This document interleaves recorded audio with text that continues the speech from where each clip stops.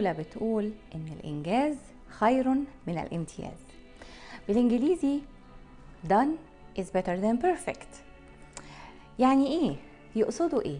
هل يقصدوا إن إحنا ما نسعاش للتميز وإن إحنا آه آه نبقى مية في المية في كل حاجة في حياتنا؟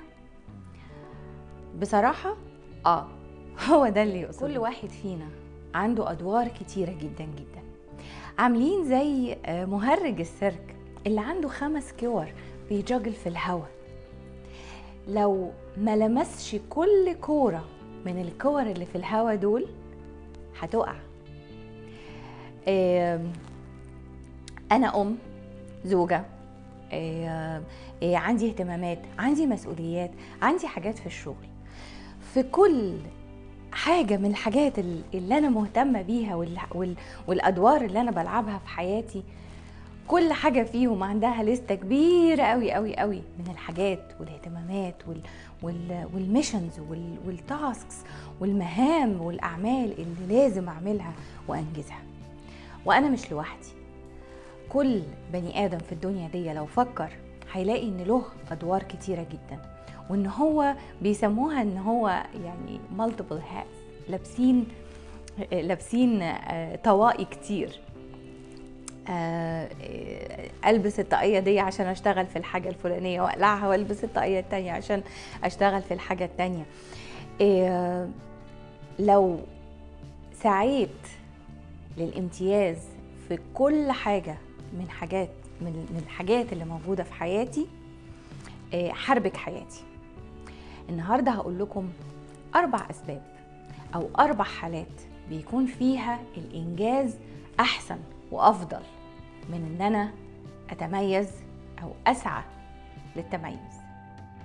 السبب الأولاني إن الإنجاز أحسن من الامتياز هو إن هو إن إنتاجيتي الشخصية بتزيد. أنا زي ما قلت لكم زيكم زي زيكم. عندي حاجات كتيرة قوي قوي قوي لازم أعملها. إيه لو قعدت على كل حاجة أحاول إن أنا أوصل مية في المية مش هخلص كل اللي أنا عايزة أعمله. إيه كل يوم بيبقى فيه زي مثلا عشر مهام والوقت محدود. و ولو وعشان أوصل للامتياز في مهمة ما لازم أديها وقت أطول ووقت أكتر. هيجي منين الوقت ده؟ الوقت ثابت على فكرة. كمية الوقت اللي متاح لينا في اليوم ثابتة ما بتتغيرش ما فيش يوم بصحى واقول آه النهارده 25 ساعة امبارح كان 22 ساعة بس. لا. لو اديت لدي للجانب ده من حياتي وقت اطول واهتمام اكبر أكيد هياخد من الجوانب التانية. السبب التاني إن الإنجاز أحسن من الامتياز. سبب غريب قوي إن إحنا أحيانا بنستخدم ال perfection أو إن أنا أوصل لمية في المية أو هذا الامتياز كحجة وكسبب إني أتأخر وماطل وما أقدمش اللي مفروض أقدمه وما أعملش اللي مفروض أعمله وما أنجزش اللي مفروض انجزه. آه، فكر كده. آه، في كتاب من كتب براين تريسي كان مدي example لفريق مبيعات في شركة ما. وواحد من مندوبي المبيعات دول آه، كل يوم يقول أنا هبتدي بكرة. أصل النهارده أنا هرتب الناس اللي المفروض أتصل بيهم ابجديا. تاني يوم لأ أنا مش هرتبهم ابجديا أنا هرتبهم حسب المكان اللي هم فيه. أدي يومين ضاعوا تالت يوم. لا أصل أنا اكتشفت إن الترتيب ده مش صح وإن في ترتيب أحسن. أدي تالت يوم. تلات أيام ضاعوا اتأخر فيهم ماطل في أداء المهمة عشان يرتب الأسامي أحسن ترتيب. فكروا كده في حياتكم. هل حصل إن أنتوا استخدمتوا رغبتكم في إن أنتوا عايزين تنجزوا الحاجة على أتم وجه وتسببت هذه الحجة في إن أنتوا اتأخرتوا في إن أنتوا ما أنجزتوش؟ أعتقد إن ده سبب فاليد قوي وبيحصل كتير قوي في حياتنا إن إحنا نبقى عايزين نبقى أحسن حاجة وما ننجزش حاجة. السبب الثالث إن الإنجاز أحسن من الامتياز هو إن أساسا مفيش كمال مفيش بيرفكشن مفيش ال 100% أنا ما بتكلمش على أيام ما كنا في المدرسة وكان في ولاد شاطرين قوي قوي بيجيبوا امتياز في كل المواد و100% في, في كل المواد والحاجات دي.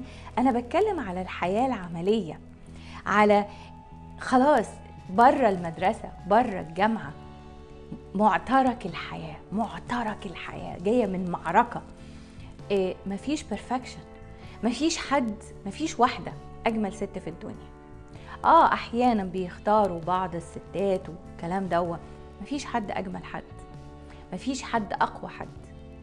آه مفيش إنسان آه شاطر في كل حاجة. ولكن ممكن يكون في إنسان ناجح في كل حاجة لكن مش ممتاز. زي ما قلت لكم حياتنا مليانة كذا جانب جوانب عديدة.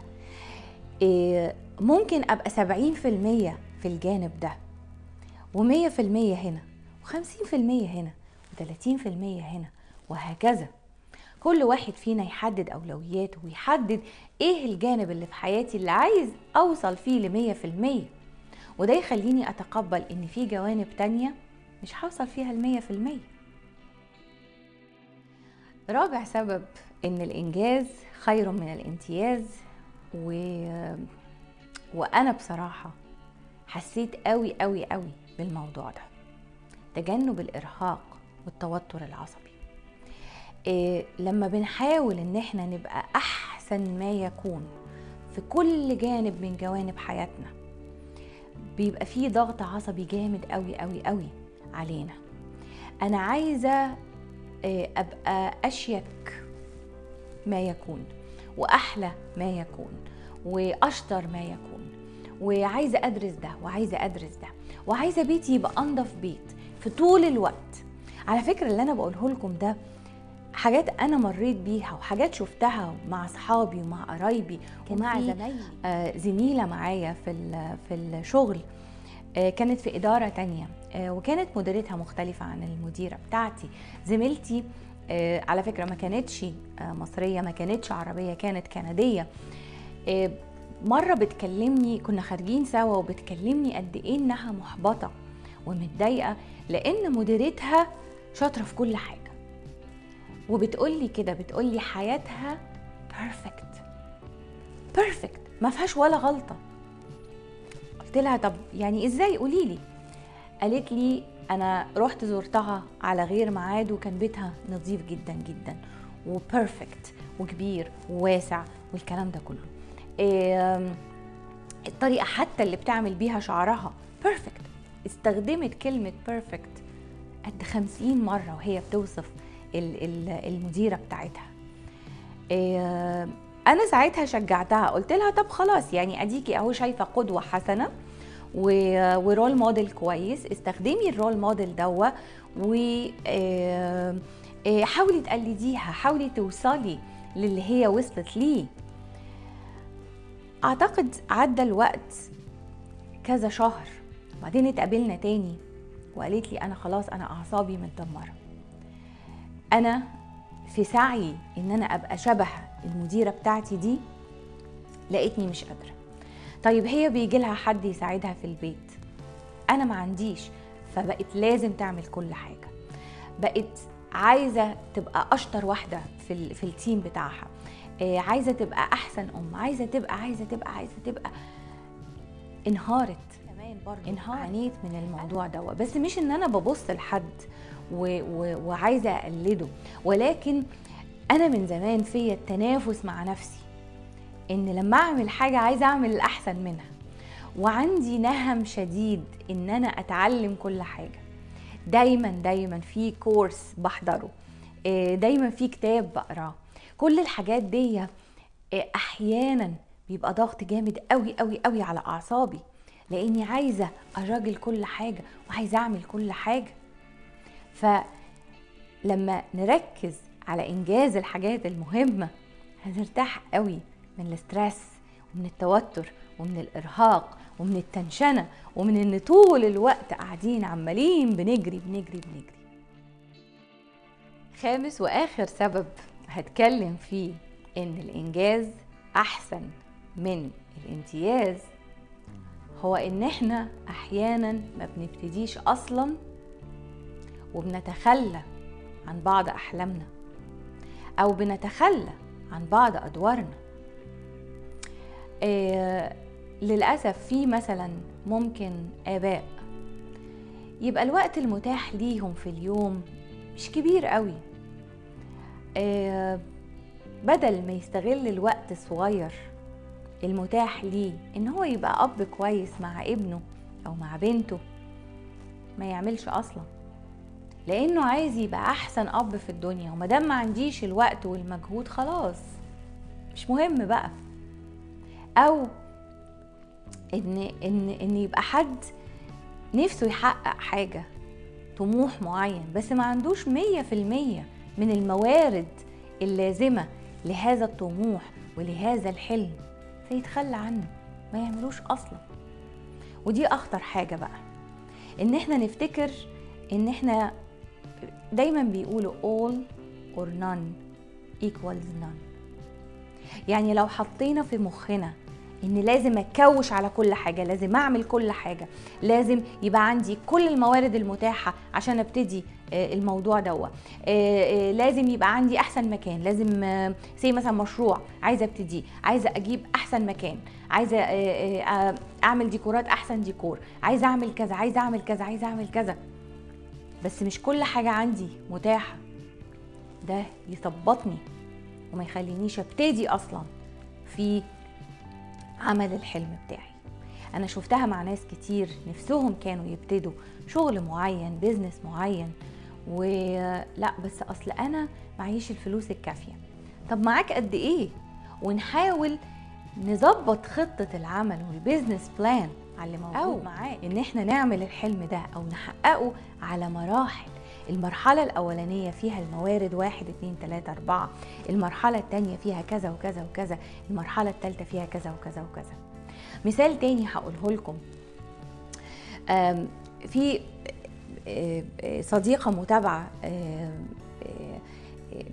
كنت أنا اتكلمت في فيديو مشهور قوي على إزاي تبقي ست شاطرة. وبعتت لي وقالت لي أنا نفسي أبقى ست شاطرة بس أنا بيتي مكركب و... وكل حاجة فيه متوسخة وبصراحة أنا كسلانة وأنا كذا وأنا كذا وأنا كذا. وأنا عايزة أبقى ست شاطرة وعايزة أبقى ممتازة وعايزة أبقى ناجحة وعايزة أبقى كذا وعايزة أبقى كذا. وبقالي شهور بتفرج على الفيديو وما نفذش. لأن هي شايفة الصورة الكبيرة المدربكة. وعايزة تبقى ممتازة. فجأة كده تغمض عينيها وتفتحها تلاقي كل حاجة كويسة وكل حاجة وصلت في المية. فما بتبتديش أصلا. لكن لما قسمت البيت بتاعها ده لأوض وزونز النهارده هعمل الحاجة دي وبكرة هعمل الحاجة دي وخطوة خطوة وصلت. لكن لما حاولت إنها تظبط البيت كله في يوم واحد فشلت. وتعبت وارهقت. ده كان مبدأ من المبادئ بتاع الإنتاجية الشخصية وإزاي نزود إنتاجيتنا وإزاي نزود نجاحنا عن طريق إن إحنا نعمل كل حاجة مفروض مننا. أنا عملت فيديوهات كتير عن المواضيع دي وعن إدارة الوقت وبحس إن من أكتر الحاجات اللي أنا استفدت بيها شخصيا في حياتي هو علم إدارة الوقت و والنصايح عن زيادة الإنتاجية الشخصية. وكمان من تجاربي أنا وال trial and error عرفت بعض الحاجات. هحاول أ share معاكم بعض الفيديوهات اللي أنا عملتها في السابق عن الإنتاجية الشخصية وإزاي نزود إنتاجيتنا اليومية وإنتاجيتنا في الحياة. أرجو يكون الفيديو عجبكم واستفدتم منه وأرجو إن أنتوا تكتبوا لي تحت يا ترى إيه التحديات والمعوقات اللي بتقابلوها في حياتكم عشان تنجحوا وعشان تحققوا اللي أنتوا عايزينه؟ وأنا هحاول آخد الأسئلة دي أو أو التعليقات دي وأرد عليهم واحد واحد. أشوفكم الحلقة الجاية.